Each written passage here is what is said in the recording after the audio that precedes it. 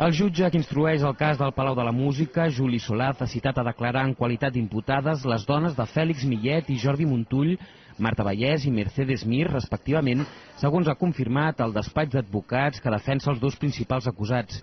Les mullers de Millet i Montull, que hauran de compareixer el pròxim 30 d'abril, eren les administradores de les empreses a través de les quals es va desviar part dels fons del Palau i la Fundació en forma d'incentius.